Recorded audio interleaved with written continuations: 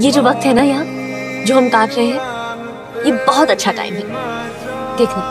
आगे चलकर हम इसे याद करेंगे और हंसेंगे